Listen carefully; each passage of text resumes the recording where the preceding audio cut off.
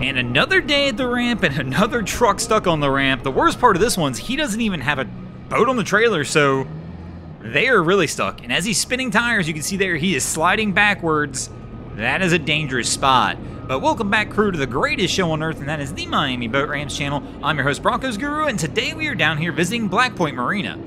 And he's spinning them again, but again, getting nowhere. This one's tough. When, when I see it like this with no boat on the trailer, I mean, they can try throwing weight on that rear tire, but something else is likely going on here. Or he's just hit the slick spot on the ramp and they're just stuck.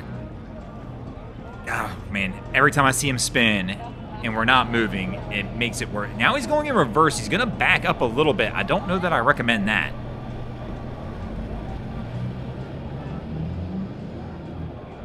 So we'll get shot blocked for a moment as this boat crosses our path.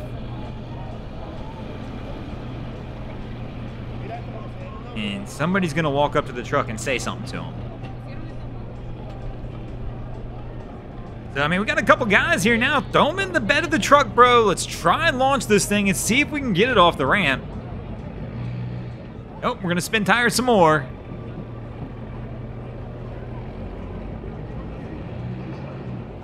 He's not really getting anywhere. I mean, he's only letting it spin for a couple seconds, though. I mean, it's tough because you don't... The problem is he's rolling backwards, too. So, like, really, you want to say, hey, let her rip. Let's get some traction going down here and try and get it up. But if it starts sliding backwards and he stays on the throttle too long, he'll be in trouble. So now we're out here inspecting the trailer, trying to see if maybe something's off with this. Maybe it's caught on the dock.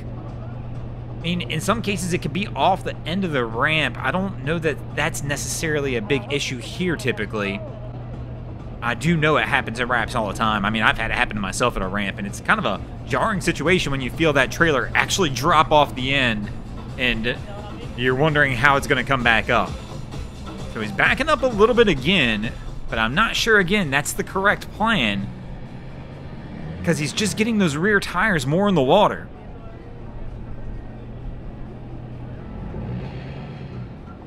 So, I mean, the backup, I think he's just trying to see if he can get a little bit of a running start. So, backing up one more time. I have to pay attention now to see if he actually gets any forward grip from this and then it just stops at a certain point. And he does. So, okay, so he's backing up because they are definitely stuck on something now. Because if he's doing that, right there, they're stopped, they're stuck. The trailer is hitting something right there at that point. So when he's backing up, he's trying to give himself a running start to break it free from that. Because you'll see right there, they weren't moving at all. Again, here, we'll back up. And here, when he hits the gas, he'll move forward just that couple inches that he backed up. And actually, he didn't really get anywhere that time. Kind of... so he's backing up again. But right there, you can see he got the couple inches and then it's just stuck.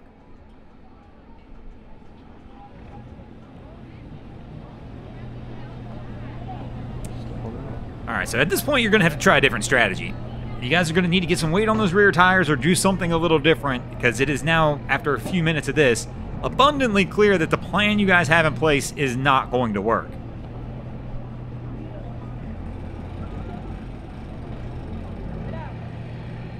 Spin them one more time, but again, we're not going anywhere.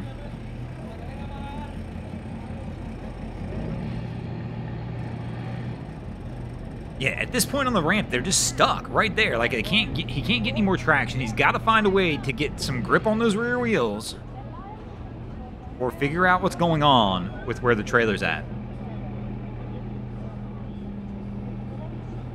So the crew's coming out to take a look. He's back here looking at the trailer one more time, talking to somebody up on the ramp who looks like they're trying to determine exactly what the best course of action is. I don't see anything crazy going on with the trailer. Like, it doesn't look like it's all lopsided or anything crazy like that to where it makes me think it's stuck in like a rut, maybe? I mean, but it's definitely stuck on something. So we're to try and evaluate this one more time. As the crew's got to figure out what the best course of action. I still can't believe they, I mean, they've got a couple people standing here. I don't know why we haven't tried putting anybody, period, in the back of the truck. I mean, there's literally four people staring at this trailer right now. Why can't we put three in the bed of the truck and let's try and get it rolling? I mean, they're looking at something at the trailer, so something's wrong somewhere. But again, to me, I just... We're not taking any real good course of action here. Just go ahead, throw the people in the bed of the truck. Let's try letting her rip and see if we can get it up. There we go. Finally, somebody takes some action, gets into the bed. Let's see if this is going to work. So we take two people. We're going to make one attempt, it looks like, at least with two people. Let's see if this is what they needed to get this done.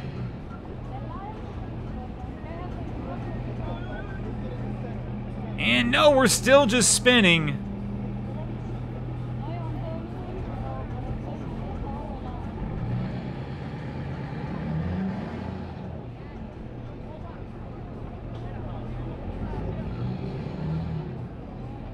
And we're not really making another attempt, though. Oh, now the car next to him spinning tires as well. But they're able to catch some grip and get out. And for whatever reason, we have paused. And we are not making the attempt.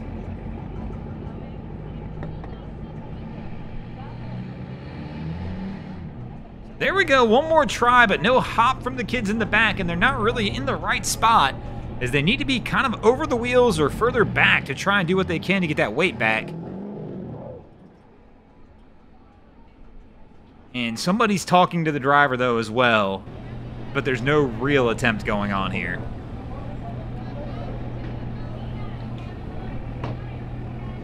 So they're pointing out something again with the trailer, trying to figure it out.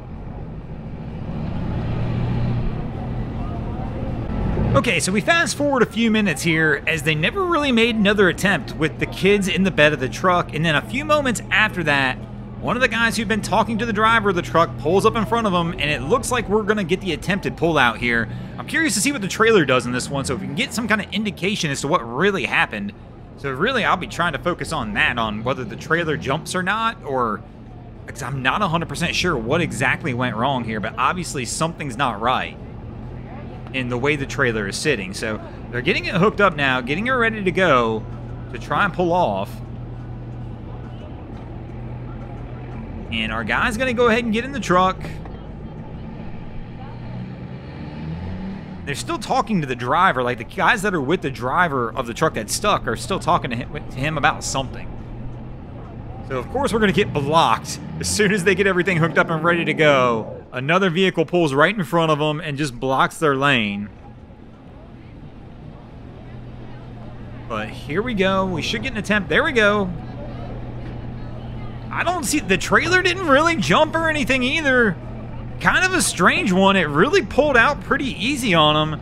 Unless possibly something's broken on the trailer, maybe the brakes were locked up, I'm not 100% sure, but the good news is they're out and they're ready to roll. And speaking of ready to roll, we're going to roll out of here as well. Thanks for watching, crew. I hope you enjoyed this episode of Miami Boat Ramps. If you did, please check out our other content. We have Wavy Boats, who does a bunch of great things down at the inlets. My channel, Broncos Guru, do some great comedy boating videos there as well. And of course, we got Boats versus Haulover, where me and a machine take on Mother Nature down at Haulover Inlet. And if you guys haven't already, go ahead and drop an anchor on the subscribe button here.